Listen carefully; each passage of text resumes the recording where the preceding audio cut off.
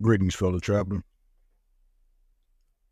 Today, I want to remind you to live your life in a way that affirms who you know yourself to be.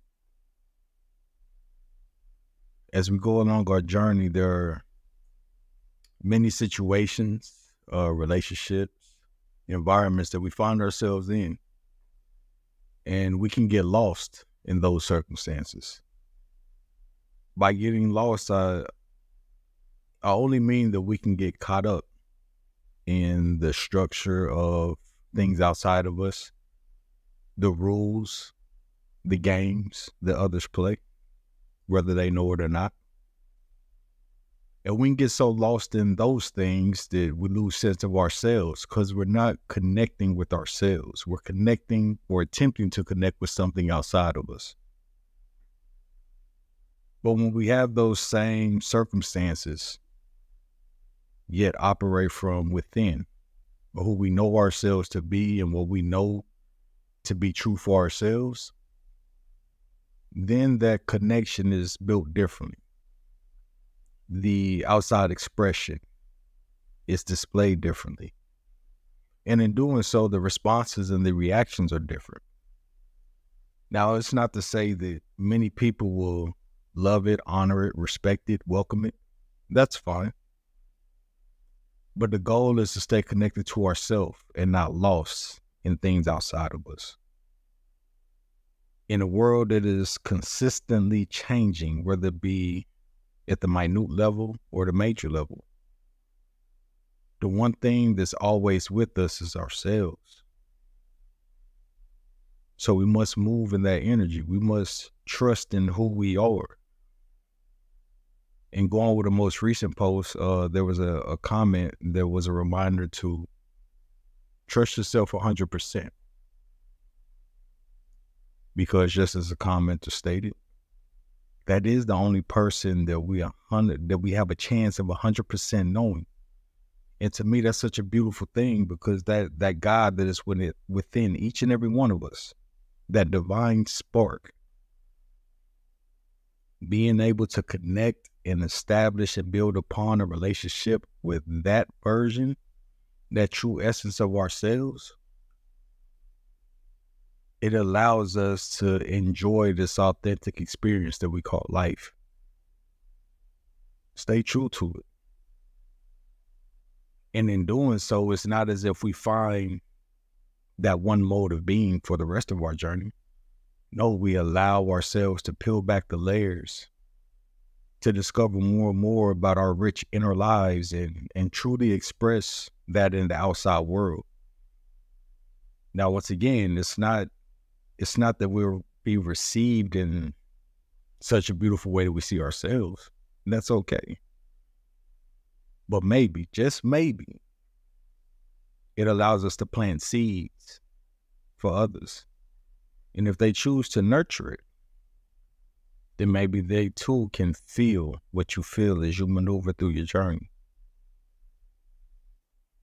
So connect within.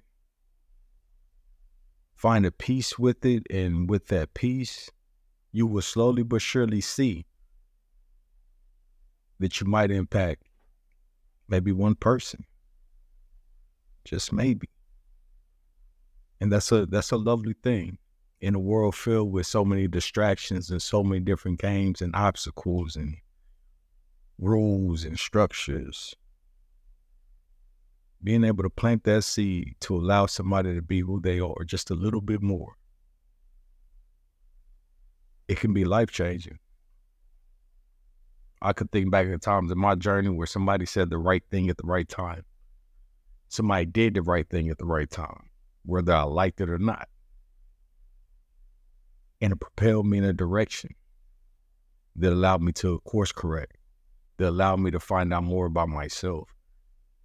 And in doing so, yes, there were some things I, I wasn't proud of. There were some things that I was proud of.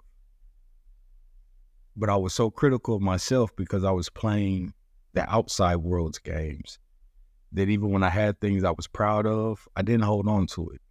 I didn't cherish it. I didn't appreciate it. I wasn't as grateful for it because I was so focused on what I didn't like about myself. over time I became said more connected with those things that I did cherish about myself.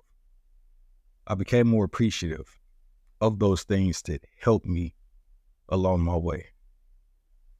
And in doing so, it gave me a certain amount of grace that helped nourish that sense of peace within self. But even more so, it made me more appreciative when I have certain instances or circumstances arise in which I'm able to lend that inner peace to my outside world and maybe help a stranger, maybe help a family member. It doesn't matter.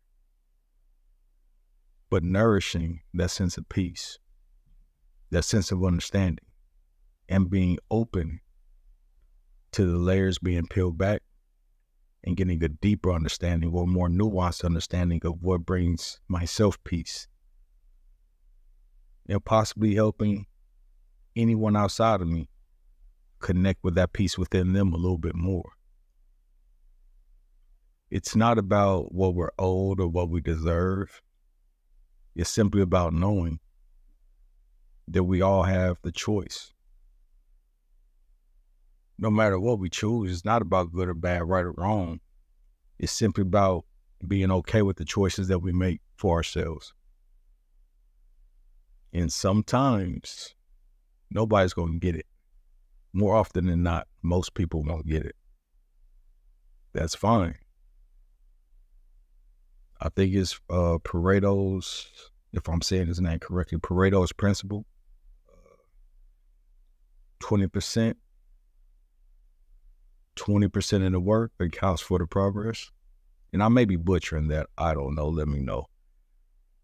But it's simply about that little bit. It doesn't mean that we have to always be on point. It doesn't mean that we have to be perfect at execution. No, sometimes it's simply about being consistent with the understanding of who we are.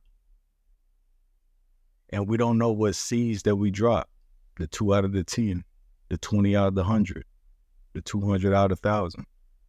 We don't know which seeds will be nourished. But living from a true expression of the divine light within us. Planting those seeds and allowing somebody else the opportunity to nourish it within themselves. Maybe that's maybe that's enough. Maybe it's not about being uh, the best in everyone else's eyes, the most popular in everyone else's eyes. Maybe it's simply understanding that sharing the light that is within you with the outside world that is filled with many different forms and shades of darkness. Maybe just knowing that you contributed a seed of positivity, a seed of grace, a seed of peace. Maybe that's what truly matters. I don't know, something to think about. Until next time, one of the most important things you could do is smile along the way. Have a good one.